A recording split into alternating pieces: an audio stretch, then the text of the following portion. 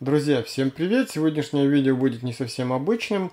Я хочу поделиться опытом, как э, упростить или автоматизировать э, публикацию Nugget пакетов.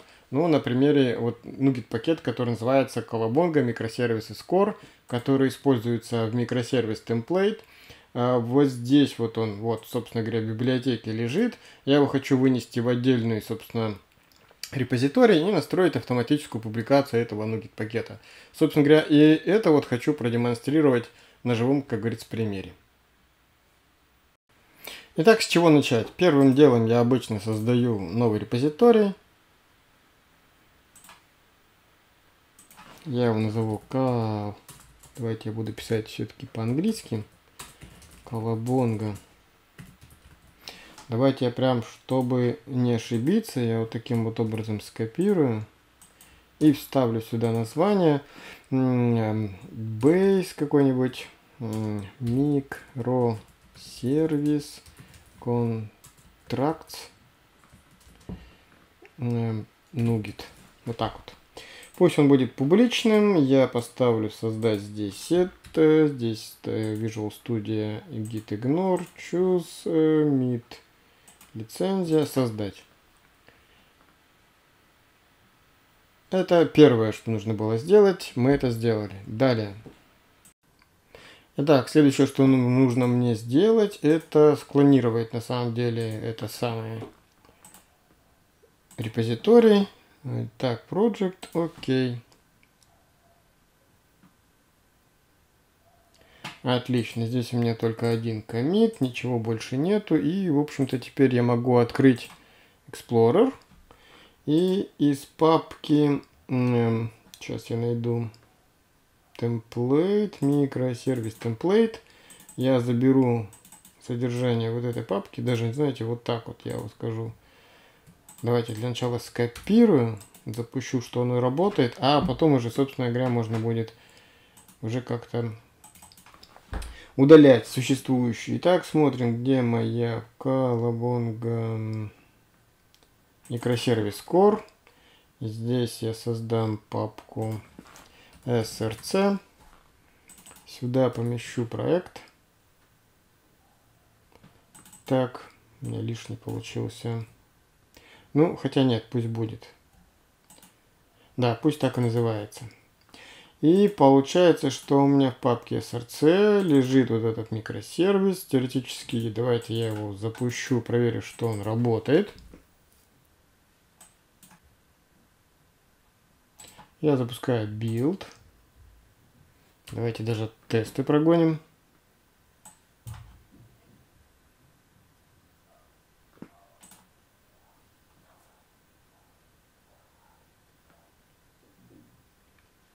Ну и как вы видите, все работает, то есть мы готовы к публикации. Для публикации мы закроем тесты. Я открою fork и скажу, что я хочу, э, ну, вернее, это у меня э, first uh, commit on it on repository. И да, хочу. И да, хочу.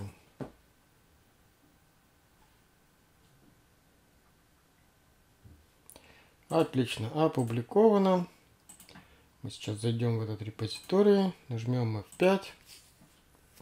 Отлично, у меня появились данные, которые можно собрать. И, в общем, теперь осталось только настроить. Ну, э, первое, что нужно сделать, давайте я прям вот так сделаю. А, здесь на самом деле есть множество вариантов автоматизации процессов при публикации какого-нибудь функционала, какого-нибудь кода вот как раз в эти самые репозитории. И тут на ваш выбор, вкус и цвет можно найти разные. Более того, можно написать свои собственные. Ну и я пойду по пути наименьшего сопротивления. Я открою такую штуку. Вот. И э, не буду, что я лукаво я скопирую с предыдущего проекта, на котором, собственно говоря, я уже это подключил. У меня есть, допустим, вот Operation Result, здесь есть Works, здесь есть Mine, и я вот таким вот образом нехитрым скопирую все содержимое, а сейчас мы с вами поговорим, что я, собственно говоря, сделал. Итак, э, система построена на, на шагах, да, и вот шаги эти, собственно говоря, описаны. Ну, первое, что делается. Setup.NET Core берется из такого вот контейнера, наверное, можно будет сказать. Ну, в общем, э, я не буду вдаваться в подробности, я просто покажу, какие шаги у нас есть. Итак, шаги у нас есть. Это первый сетап, дальше install dependencies. Здесь не нужно указать команду restore и указать непосредственно, ну, в моем варианте это уже будет. Давайте я вот так сделаю. Я прям буду по ходу все и делать. У меня есть, э, ну, во-первых, restore я указываю solution. Мой solution для микросервис core вот он, я его сделаю таким вот образом, Ctrl-C. И так как он у меня в SRC лежит, я сделаю вот таким макаром это все. Здесь, соответственно, мне нужно в следующем шаге э, сделать build этого проекта. Вот он, build происходит. Дальше я должен прогнать тесты. Тесты нужно указать э, другой, э, собственно говоря, проект. Вот он. Я его тоже копирую. Ну, в данном случае лучше скопировать, чтобы ну, точно не промахнуться. Так, проверяем. Так, так, так, скопируем. И здесь у нас будет название пакета.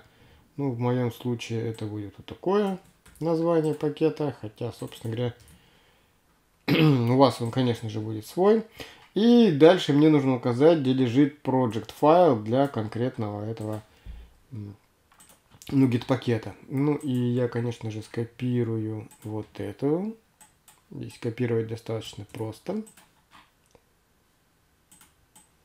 Ctrl-V. Ну и обратите внимание на вот этот Nugget API Key. Что это такое? Это то, на основании чего вам будет разрешено, э, собственно говоря, публиковать. У меня а, в моем профиле Нугита есть вот такой вот GitHub Key. Вы сгенерируете свой, он дается один раз его скопировать. Я, собственно, как вы понимаете, его сейчас сюда тоже установлю. А, для этого нужно перейти вот сюда в закладку ой, э, э, Secrets. Вот, и создать новый ключ. Он у меня называется, называется вот так вот. Nugget API Key. Я его сюда вставлю. А сюда сейчас ставлю э, значение и нажму добавить секрет. Итак, у меня есть ключ для конкретного репозитория. Я его добавил только что. И теперь я готов закоммитить что-нибудь и посмотреть, что получится. Ну, во-первых, я когда нажму коммит вот этого проекта, в смысле, вот этих вот изменений, и проект мой начнет уже двигаться по части некоторого билд-процесса. Вот смотрите, он уже запустился автоматически. Здесь можно открыть посмотреть, что внутри этого процесса происходит. Даже можно посмотреть все, все шаги, которые будет проходить этот пакет. Setup, смотрите. Э, теперь setup еще раз, да, что тут происходит. -то? А, ну вот, как раз Подгружается .NET SDK, дальше становится dependency. Главное, чтобы не было ошибок. Сейчас мы проверим, что это ошибок реально нет.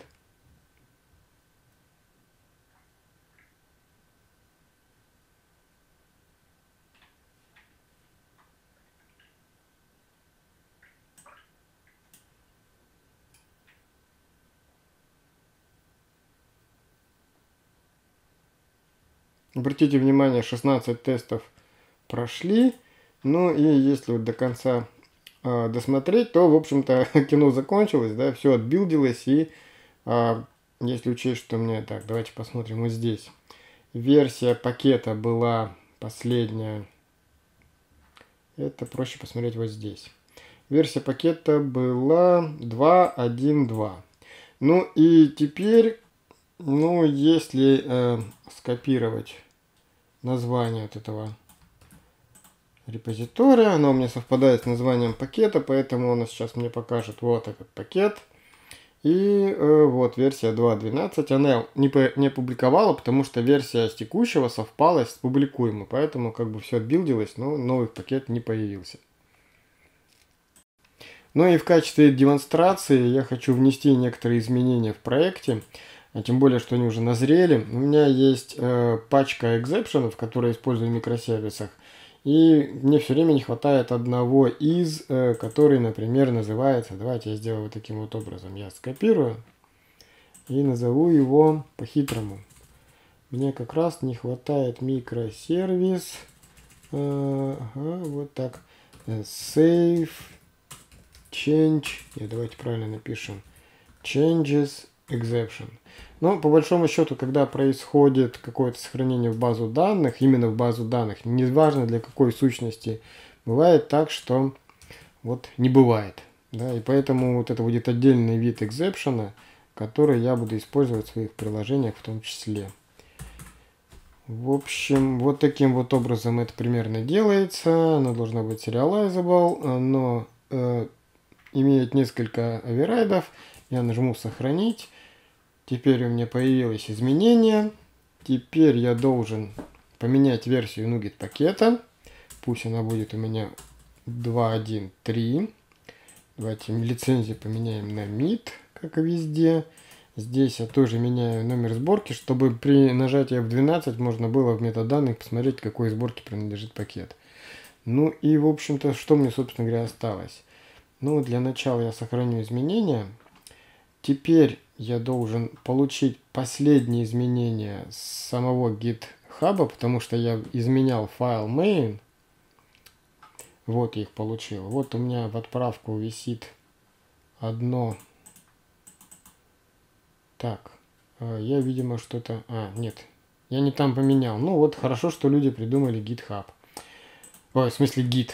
Да, я создал в одном, а поменял в другом, да? Да, точно. Я вот так сделаю. Ctrl-C.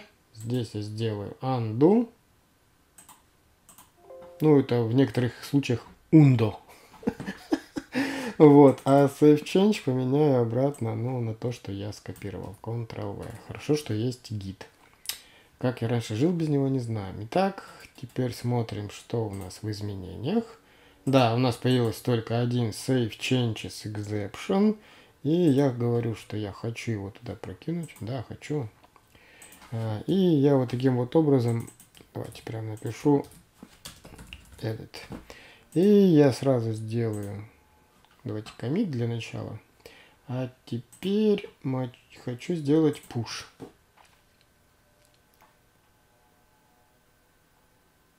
Ну, в общем, здесь ничего интересного, а вот здесь, как вы понимаете, у меня уже есть вот э, моя публикация, соответственно, и GitHub уже начал работать по ней. Сейчас она загорится зелененьким.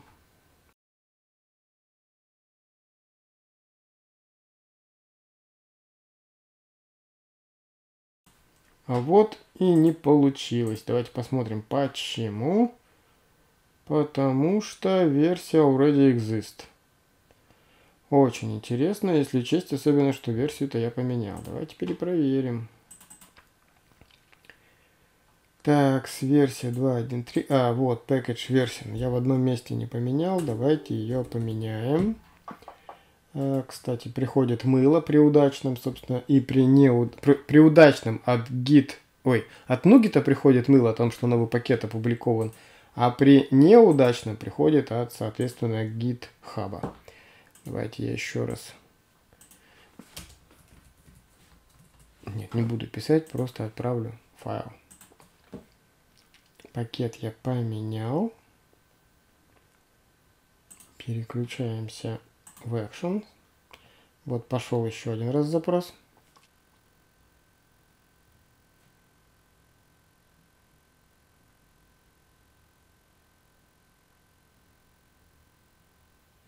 Ну и как вы видите, все прошло успешно. Теперь, если обновить страничку, мы увидим версию 2.13 несколько секунд назад. Она валидируется. И буквально через минутку-две появится в доступе э, непосредственно уже в поиске. Ну, на этом, наверное, все. Я думаю, что это вам поможет в какой-то степени автоматизировать ваши процессы, потому что иногда очень бывает мучительно долго просто прокидывать эти самые нугет пакеты, обновлять, и тем более, если они еще и зависимые, это достаточно тяжело. Данный процесс это все очень сильно упрощает. Давайте нажму еще раз F5. Ну, валидация занимает там несколько минут. Все зависит от нагруженности на сервер. Ну, обычно там минутку-две. Ну и все-таки, да, теперь давайте попрощаемся. Если будут вопросы, пишите, будем отвечать, будем общаться. Ставьте лайки, комментарии, что там еще пишите. Всем всего доброго и до новых встреч.